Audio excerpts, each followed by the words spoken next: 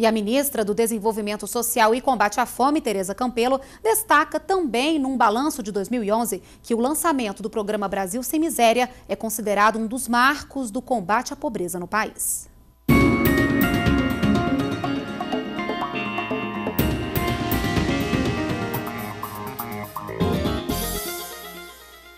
Esse ano Acho que foi um ano de grandes realizações nessa agenda da população mais vulnerável no Brasil, que são os pobres.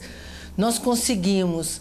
O Brasil já é um exemplo nessa agenda de construção de programas de transferência de renda. Nós temos o maior programa de transferência de renda do mundo, que é o Bolsa Família. É um programa que já ia muito bem e nós conseguimos esse ano melhorar muito o programa Bolsa Família.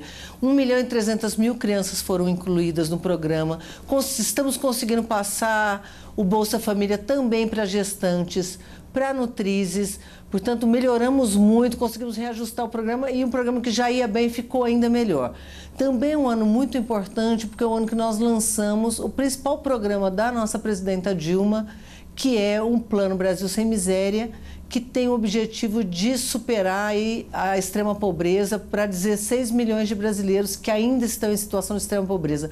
O Brasil é vitorioso nessa agenda da superação da pobreza. Nós conseguimos tirar 28 milhões de pessoas da pobreza, 40 milhões de brasileiros entraram na classe média, mas nós ainda temos 16 milhões de pobres, de extremamente pobres no Brasil e no MDS coordena essa agenda do Brasil sem miséria e nós estamos com o programa indo muito bem. Todas as metas que a gente tinha estabelecido para 2011 foram cumpridas.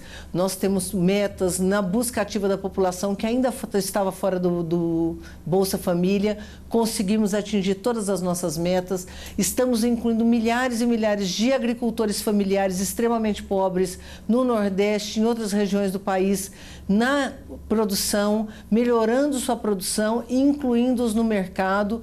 Hoje eles vendem não só para o setor público, vendem para merenda escolar, mas também estão vendendo para supermercados e conseguimos colocar de pé toda uma agenda que garante que a população extremamente pobre possa participar de cursos de capacitação profissional para que a gente garanta que esse Brasil que cresce, que se desenvolve, que precisa de mais empregos, possa chegar nessa população extremamente pobre. Então, acho que foi um ano de muita vitória.